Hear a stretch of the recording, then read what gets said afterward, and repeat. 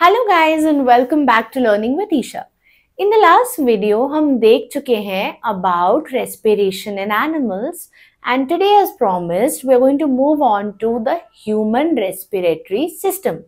It is very important in all types of competitions.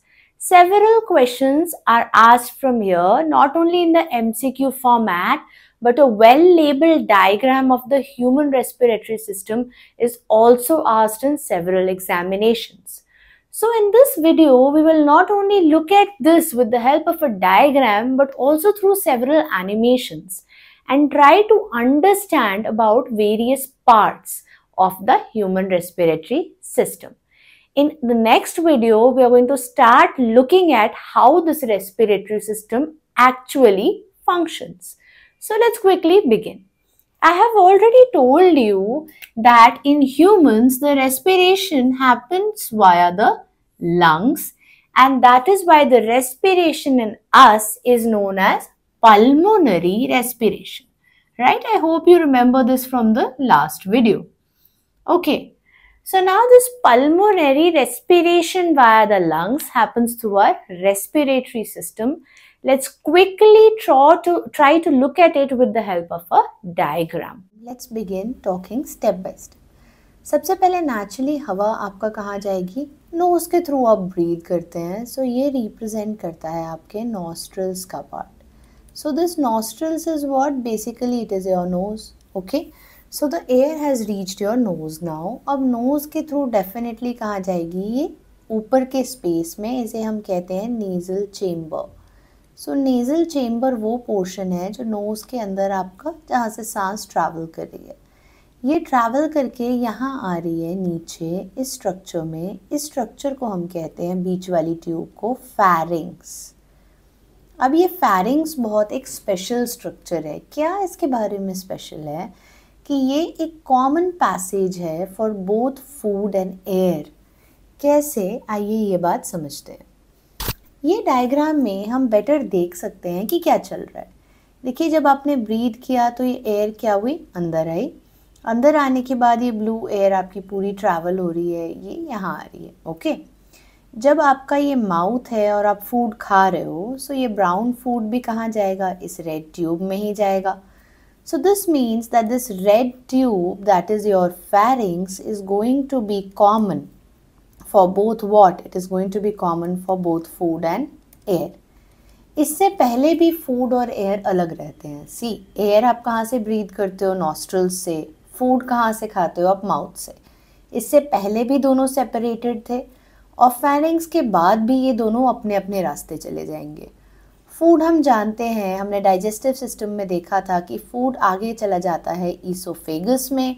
और air finally चली जाएगी हमारे एक ट्यूब में जिसे हम कहते हैं ट्रैकिया तो अब आप देखिए ये pharynx is the common passage for food and air यहाँ से बहुत कॉम्पिटिशन्स में क्वेश्चंस पूछे जाते हैं. So let's come back to this diagram Here we see that this pharynx leads us, we know, to a structure which is known as larynx. ये larynx क्या है? ये larynx है आपका साउंड बॉक्स या आपका वॉइस बॉक्स इस लैरिंग्स के कारण ही आपकी आवाज़ आती है। Larynx damage means no voice. Now after this larynx ये एयर इस ट्यूब में ट्रैवल कर रही है and this tube is known as trachea so this is the same tube I was talking about ये ट्रैकिया क्या है? बेसिकली आपकी विंड पाइप है। यहाँ से एयर आपके नोज़ के थ्रू ट्रैवल करके आपके लंग्स में रीच करने वाली है। What is unique, you see that this trachea is covered by these white things. What are these white rings? These white rings are actually cartilage. So why is this trachea covered by cartilage? So that जब भी air pressure change हो तो ये trachea collapse ना कर जाए अगर ये ट्रैकिया कलाप्स कर जाती है बीच से अगर ये दब जाती है तो एयर आपके लंग्स में नहीं जा पाएगा As a result, the person is going to get suffocated. So these cartilage rings are for support. After the trachea, you see ये आपकी air ये दो left और right parts में divide हो रही है इन दोनों को हम कहते हैं left and right bronchi. सो इन्हें लेफ़्ट एंड राइट ब्रोंकाई कहा जाता है and this is the spot where your air practically enters the lungs Now these left and right bronchi are dividing into these branches.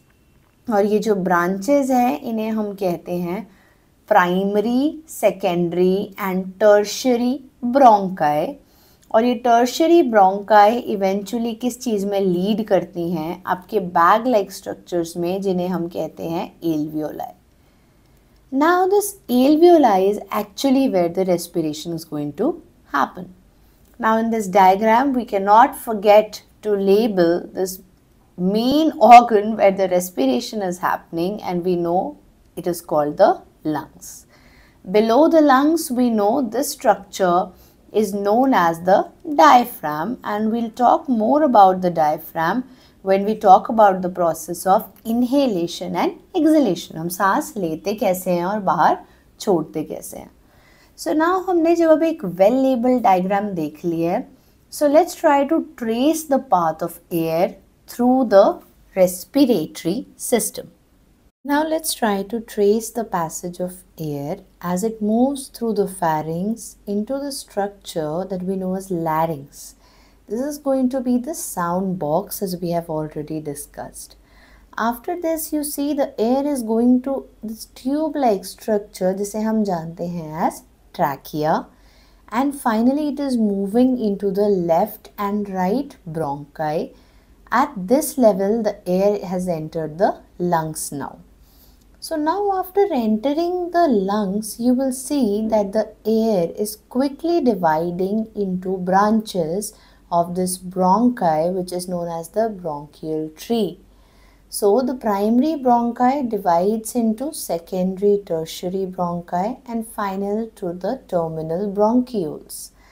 After this terminal bronchioles, the air moves into the final structure at which respiration actually takes place and this sac-like structure or bag-like structure that we see here we know that we call this as alveoli that is the actual site of respiration.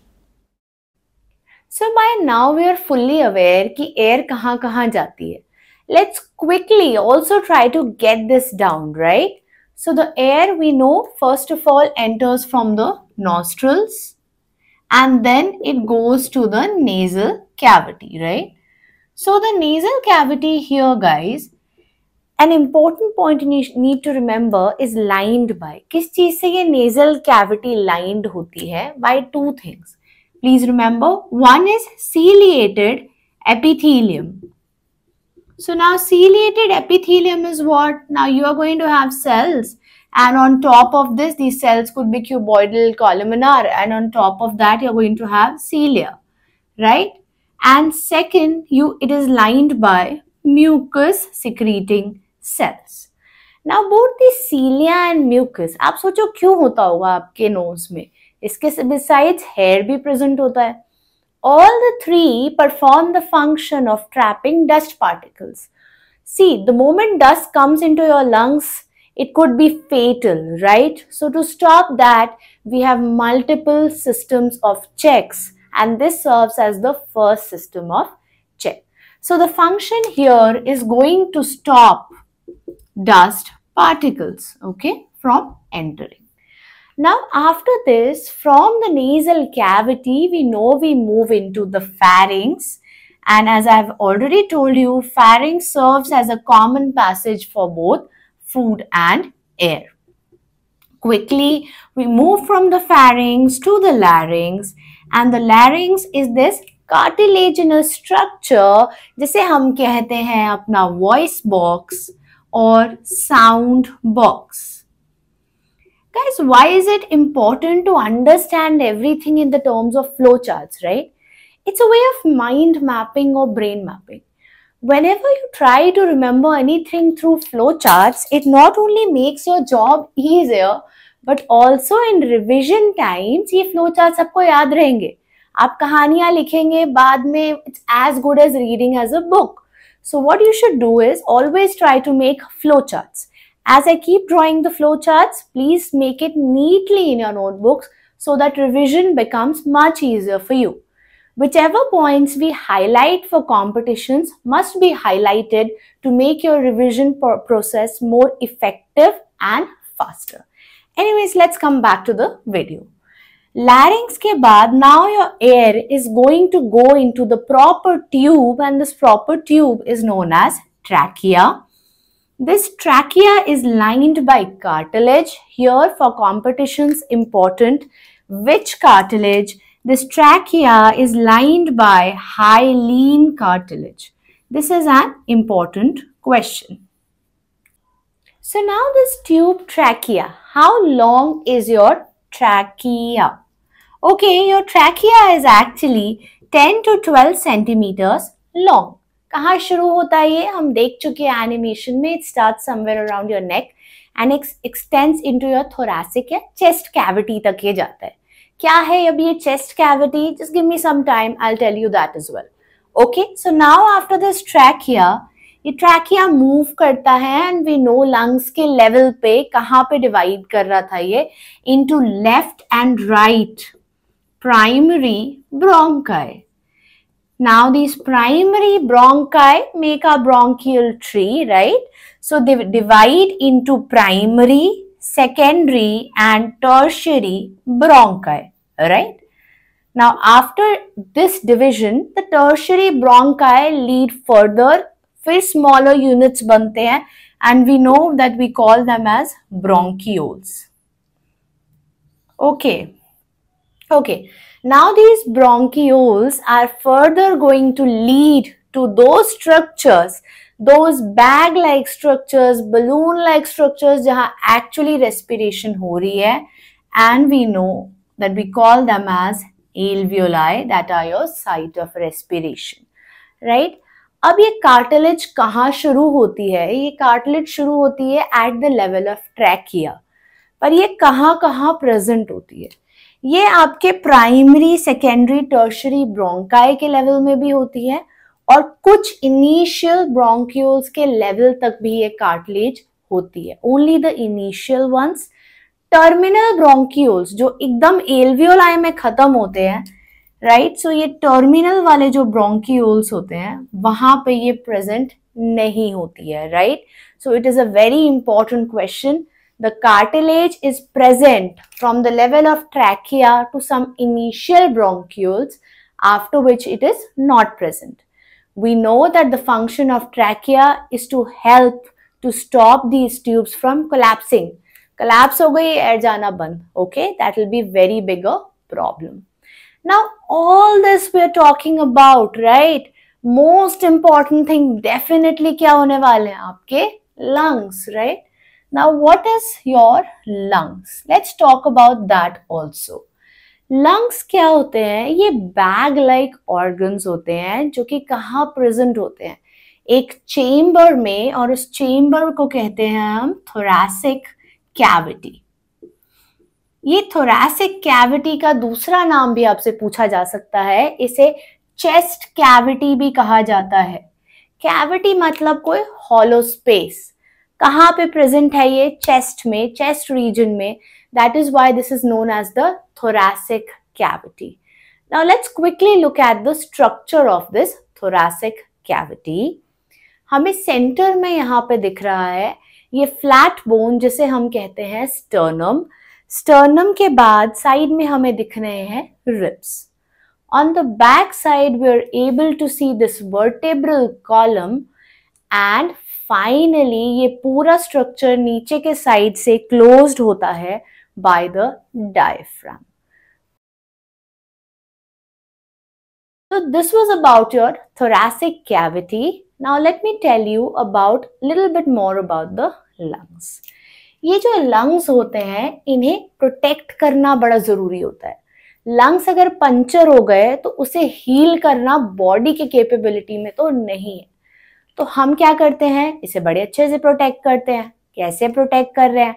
पहले तो आपने एक bony cover के अंदर इसको रखा है, संभाल के, ठीक है? It means it's a very critical organ so first you have this bony cover known as thoracic cavity और चेम्बर इसके अंदर प्रोटेक्टेड है और ये जो लंग्स हैं, इसके अराउंड दो लेयर्स भी प्रेजेंट होते हैं। ये लेयर्स जो लंग्स के अराउंड प्रेजेंट होते हैं, इन्हें कहा जाता है प्लूरल मेम्ब्रेन्स ये प्लूरल मेम्ब्रेन्स कितनी होती हैं? ये होती हैं दो. One you have an outer pleural membrane and one you have an inner pleural membrane तो ये जो आउटर प्लूरल मेम्ब्रेन है let's denote it like this and let this be your inner pleural membrane let's denote it like this इन दोनों के बीच में क्या present होता है? एक फ्लूइड यहाँ पे फिल्ड होता है और इस फ्लूइड को हम कहते हैं प्लूरल फ्लूइड अच्छा तो अब इस फ्लूइड की क्या ज़रूरत है? देखिए, ये फ्लूइड क्या करता है ना, आपको शॉक अब्जॉर्ब करने में हेल्प करता है। आप इनहेल और एक्सेल जब करते हैं that will look at in the next video आपके लंग्स का जो साइज़ है इट चेंजेस राइट एयर भरेगी लंग्स विल एक्सपैंड इस प्रोसेस में क्या होता है कि आपकी जो फ्लूड है, वो फ्रिक्शन को प्रिवेंट करता है between the two membranes right so overall this fluid is responsible ताकि आपकी दोनों मेम्ब्रेन्स के बीच में घिसने ना लगे फ्रिक्शन ना हो जाए। फ्रिक्शन से क्या होती है? हीट जनरेट होती है। हीट से क्या होगा? सेल्स डैमेज होंगे। We can not afford that right so that is why we have this extra shock absorbing fluid known as the pleural fluid. Now here an important MCQ question can be formed, right? ये जो inner pleural membrane है ये किसके contact में है जी?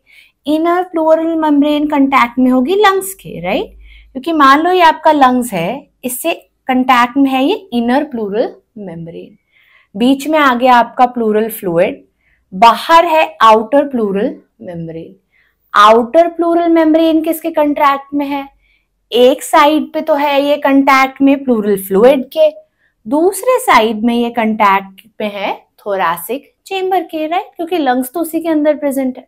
This is also a very important MCQ type of question now that we know this much I also want to add कि इस पूरे सिस्टम को ना दो पार्ट्स में डिवाइड किया गया है। This is classic terminology one is known as your conducting part and second is known as your respiratory part right conduct करना मतलब क्या होता है किसी चीज़ को पास करने देना एयर को कंडक्ट कौन कर रहा है इस पूरे सिस्टम में यू सी एल्वियोलाई से पहले का जितना भी पार्ट है let it be your nose nasal cavity pharynx larynx trachea and the bronchi and then the bronchioles everything is doing what conducting air बस एयर को लेके आ रहे हैं भाई, वहाँ और कोई काम नहीं चल रहा है। एक्चुअल जो एक्सचेंज ऑफ़ गैसेस हो रही है, वो कहाँ हो रहा है?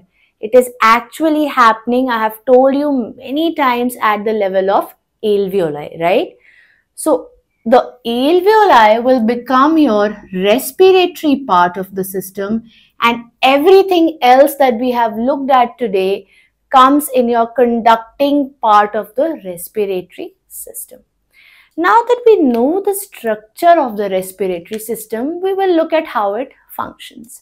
हम inhale कैसे करते हैं? एक्सेल कैसे करते हैं? और ये जो गैसेस की ट्रांसफ़र है एल्वियोलाई में ऐसा क्या हो रहा है? ऑक्सीजन कैसे आ रहा है? कार्बन डाइऑक्साइड हम कैसे एक्सेल कर रहे हैं? और पूरे बॉडी के हर सेल तक ये पहुँच कैसे रहा है? This is going to be the topic for our next video I hope you enjoyed today's video. Let me know if you found these animations useful and you'd like to see a similar animation in the next video as well. I urge you to consider subscribing my channel as it would help me also to grow. Don't forget to like the video. Let's see in the next part.